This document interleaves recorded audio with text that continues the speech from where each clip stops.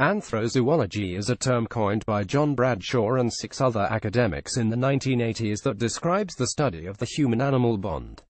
This book sees the science applied through history, starting in prehistoric times and ending today. He discusses archaeological evidence that points to the earliest example of an animal being kept as a pet, the status of the pet during the Victorian era and the emergence of pedigree dog breeds. The Animals Among Us is packed with facts that, collectively, form a broad and general history of our predominantly the West's non-Western cultures most often take on the role of other relationships with domesticated animals. Bradshaw debunks several myths about pets having traceable benefits for health and other common misconceptions about pet ownership, citing anthropological and biological studies.